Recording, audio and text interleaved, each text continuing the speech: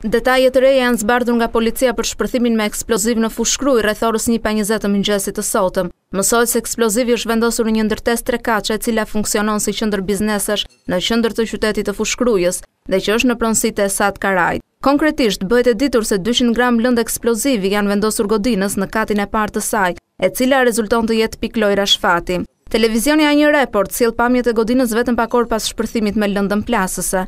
Konkurrenca është pista kryesore ku është përqendruar puna e policisë për zbardhjen e kësaj ngjarje të rëndë. Shpërthimi i ndodhur pak pas mesnate fatmirësisht nuk pati të lënduar në njerëz, por vetëm dëme materiale. Deri më tani nuk janë identifikuar ende autorët, ndërsa po punohet për zbulimin dhe arrestimin e tyre, si dhe për zbardhjen e plotë të rrethanave të ngjarjes.